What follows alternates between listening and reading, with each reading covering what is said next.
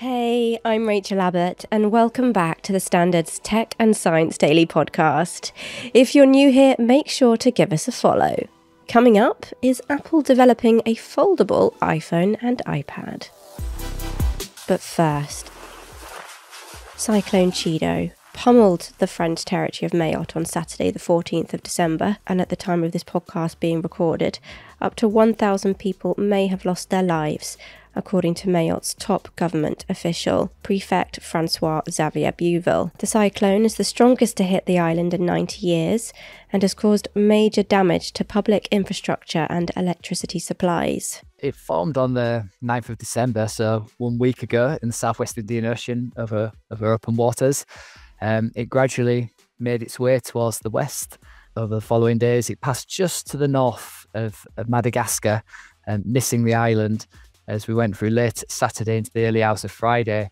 And that just led to it um, moving across or just to the, well, actually, I think it did just clip the northern part of Mayotte Island uh, during Saturday itself. Um, it was very strong during during that time. The, the estimate gusts, well, gusts recorded on Mayotte Island at the airport reached 140 miles per hour. So it's a, it's the strongest storm to impact that that territory since at least uh, 1934.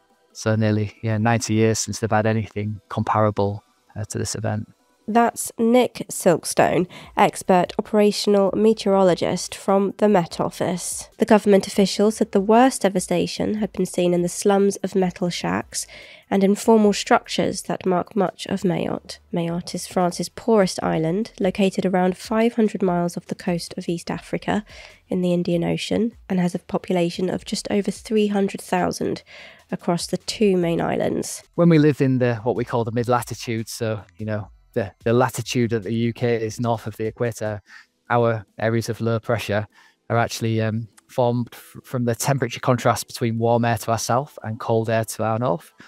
In the deep tropics, there are no temperature gradients. Everywhere is warm, everywhere is humid. These cyclones are formed from warm sea surface temperatures and they're effectively like a pressure valve. They basically take heat and moisture from the ocean in the tropics and then slowly distribute it into the into what we call the mid latitudes or, or higher latitudes.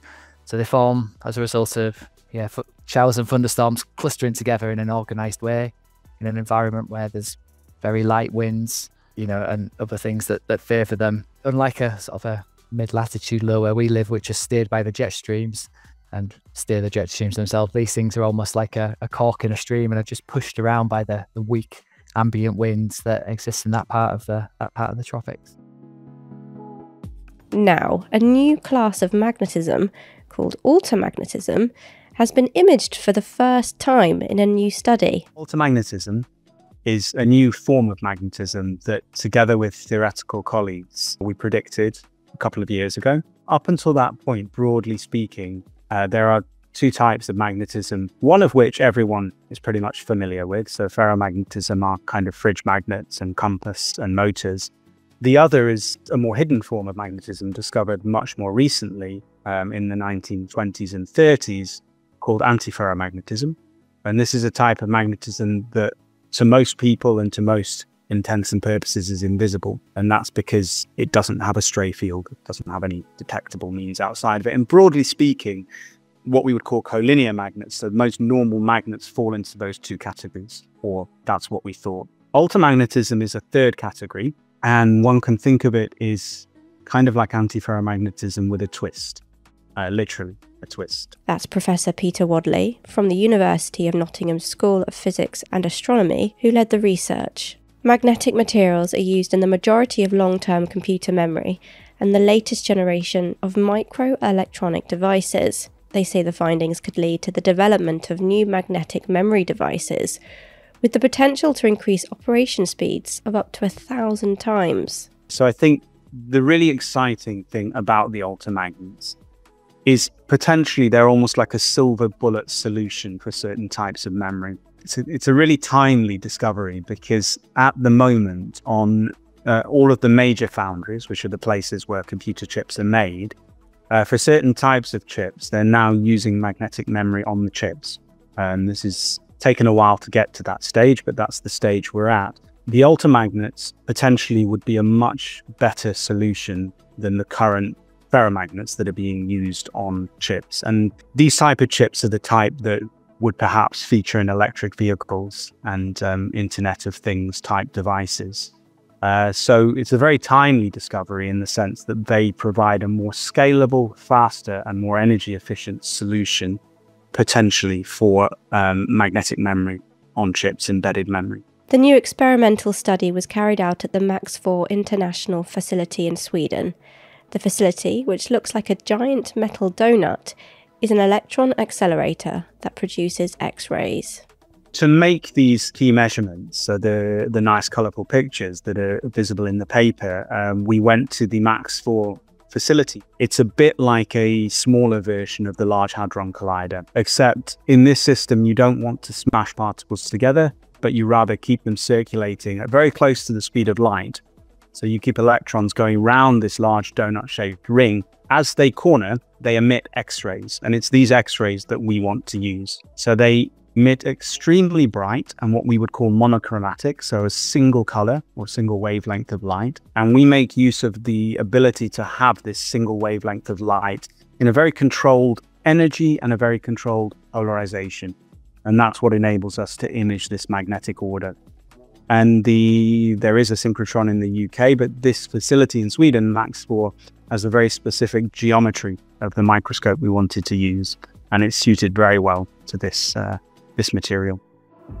Next, are Apple developing a foldable iPad and iPhone? Multiple reports say the tech giant could be planning on launching two foldable devices in the next few years. But what could come first? According to TechCrunch, the Wall Street Journal says that Apple has been developing both devices with a foldable iPhone likely to be released first. However, Bloomberg says the iPad has been the main focus. It's believed developers are working on creating a screen with no crease that's visible on current foldable phones. Let's go to a very quick break. Coming up in part two, your skin has its own immune system. See you back here in just a minute.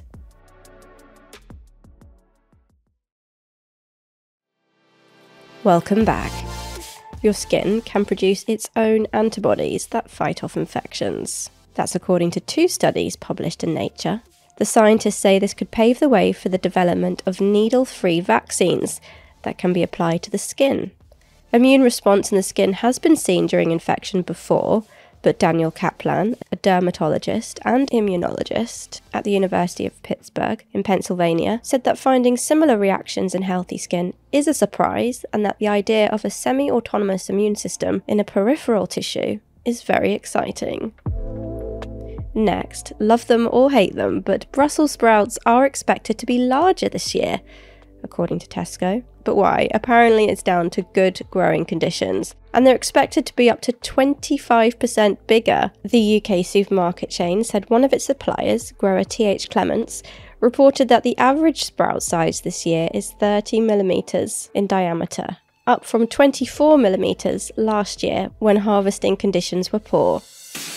And finally, that's the sound of a team of locals holding one of six critically endangered giant catfish, which grow up to three metres long and are among the world's rarest freshwater fish, being caught before its release in Cambodia.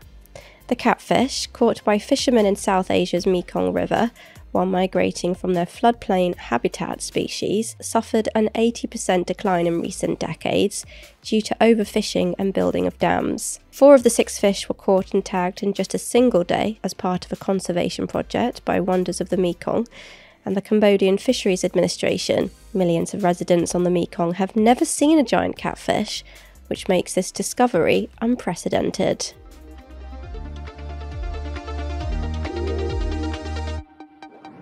You're up to date. Come back at 4 pm for the standard podcast.